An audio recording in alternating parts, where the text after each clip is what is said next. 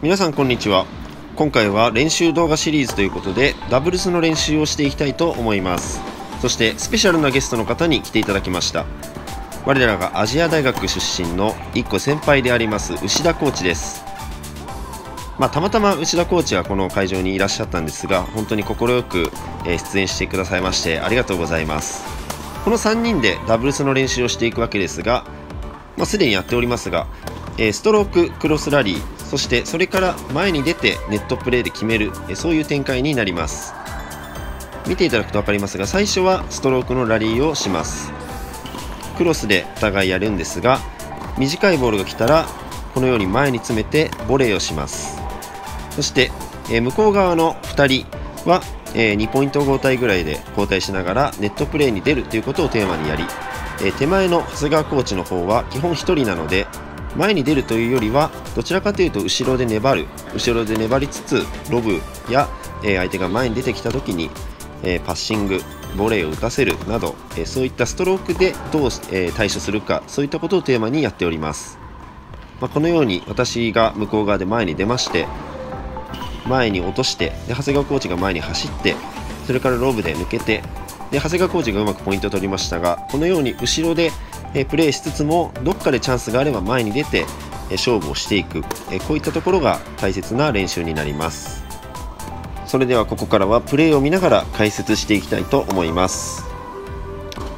さあしっかりクロスでラリーしますね。まず深いボールが大事ですが私が前に出ました。センターにアプローチして長谷川コーチがネット。スライスアプローチというのはストロークの人を、え低い打点で取らせることができるのでとても有効です。ボールもスピードも遅くいきますからね。タイミングを、えずらすには最適です。さあ薄田コーチの速いタイミングのショットですね。これはとても長谷川コーチが対応しづらそうです。さあ緩くスマッシュ打ってからそれからアングルですね。1回ボディに打ってからパッシングを打たせてそれから前にしっかり詰めてアングルボレー。とてもえー、効率のいい組み立てだと思います。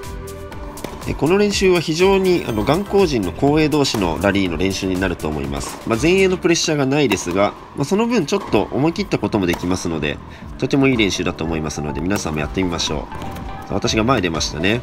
さあファーストボレーが深い。スマッシュ。取る。その後アングル、まあ、これはちょっと私はうまくいきすぎた感じもしますが長谷川コーチも物おじせず前にしっかりプレッシャーかけてきましたね。まあ、こういうプレッシャーのかけ方もとても参考になると思います。さあ牛田コーチの速いタイミングでのショット。このラリーで主導権を取るためにはやはりライジングなど速いタイミングでストローク打っていく必要があります。ボールのスピードもまあもちろんちょっと速いんですけど、まあ、ちょっと速いぐらいなんですよね。どちらかというと速いタイミングで打ってるから相手は速く来たっていう風に勘違いをしてしまう。それで対応が遅れてエースになったり、えー、自分がミスをしたりそういうことになります。とても牛田コーチのテニスから、ね、勉強になることがたくさんあると思います。さあ私も前出ましたね。これでドロップ、まあ、アプローチの時点で長谷川コーチ後ろに下げてますからね。ドロップショットが有効になります。さあ今度は牛田コーチの番です。まあ、長谷川コーチミスしましたが練習ですからたくさんミスしていいと思います。吉田コーチのボールは、まあ、結構タイミング早く捉えてますからボールは浅くても相手の手元にかなり届くそんなボールになります。まあ、突き刺さってくるようなボールですね、まあ、いわゆる差し込まれているので、まあ、打点が結構後ろになって、えしっかり返そうと思ってもなかなか力が出せない、え時間も奪われてますから、えー、どこ狙おうかとかそういう余裕もない、えそういった状況で前に出てこられたらさらに厳しいと思います。さあ今度は私がこちらに来ました。内田コーチが前に出る立場。私は後ろで、えー、頑張る立場、え、そういう形になります。しっかりとラリーを深く内田コーチのボールやっぱ差し込まれますね。これ本当に速いんです。そして前来ました。うん牛田コーチボレーミス。私がちょっと緩く打って牛田コーチの足元でボレーさせることによってミスを誘いました。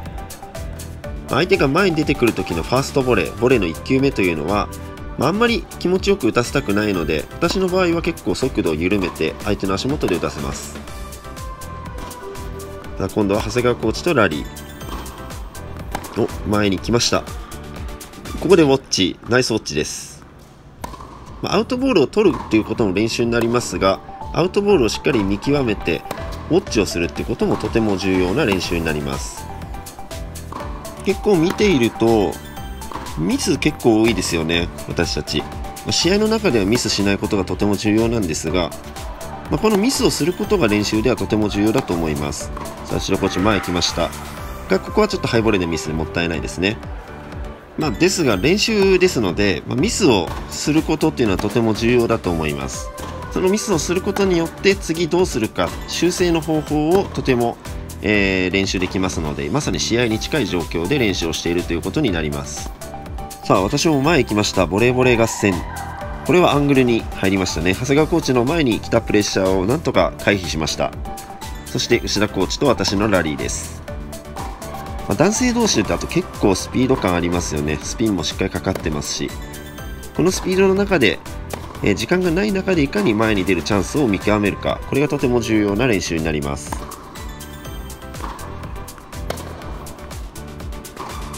もサイドに振ってきました。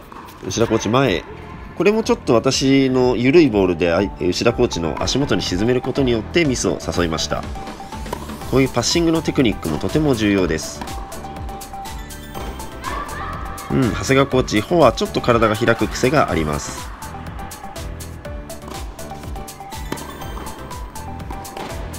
これも開きましたね。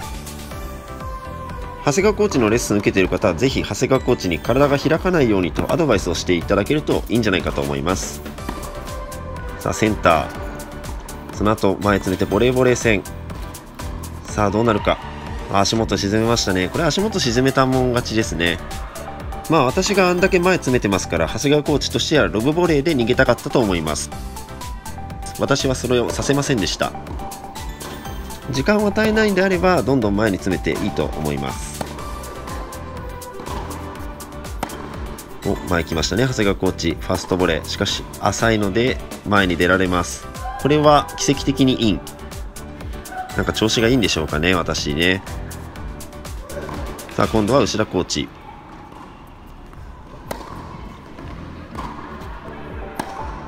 タイミング早いですよね。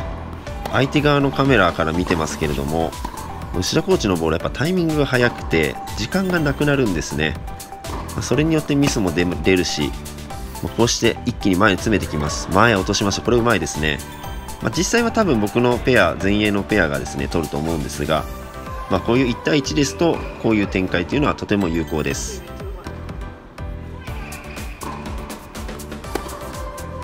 っかりスピンも効いてて、まあ、もちろんハードコートっていうのもありますからよく跳ねてますよね。うん、まあミスはしましたが思い切りのいいプレーだと思います。まあ、ミスすることっていうのは練習の上ではとても重要ですから、まあ、ミスはどんどんしていいと思いますが、まあ、積極的なミスだったりトライした結果でのミスこれはとてもポジティブに捉えていいと思いますさあ今度は長谷川コーチとまずはしっかりラリーをしたいところですね。ちょっと振り遅れました。長谷川コーチもちょっと体開きましたね、まあ、ただこのミスをどれだけ修正できるか。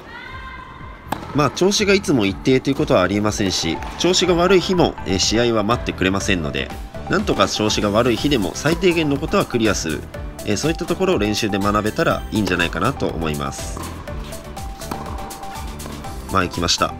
調子悪くても前出ることはとても重要です。まあ、いくらミスをしても気にしない、まあ、課題をしっかりとね明確にできますから、えー、ミスした方が、え、練習にはなると思います。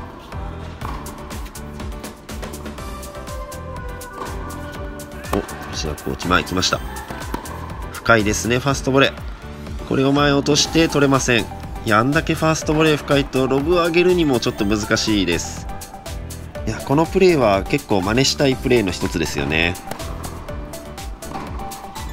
っかりラリーをしますね。志田コーチちょっとサイドに振って私が振り遅れます。浅くなって私が前行きますね。ロブこれをスマッシュミス。ちょっと私のフットワークがサボった感じですね。ちょっとこれは私の怠慢です。もうちょっとちゃんと下がらないといけないところでした。しっかり私も深く打ちますが志田コーチ全然下がらないでライジングでしっかり合わせてきます、まあ、ですがちょっとミスが出ます。まあ、ライジングに合わせるっていうことはちょっと時間がないですから、え、自分がミスをするリスクもちょっと背負っています。ですがそれがないとポイントを取りに行くことができませんのでこういうのは練習のうちからどんどん失敗していくことが大切になります。しっかりラリーしますね。ここで長谷川コーチ前。オレ足元からうまく深く、まあ、ちょっとアウトですがスマッシュスライスで沈めます。ゆっくりのボールで沈めますから相手のネットミスを誘いました。スマッシュの後は焦らずゆっくり返しましょう。まあ、今回の練習見ていただきまして、まあ、練習中にミスをするということがとても重要だということです。そしてそのミスからどれだけ修正できるかどれだけ最低限のことができるかということが重要になりますので、えー、ぜひこの辺を参考にしてみてください。ありがとうございました。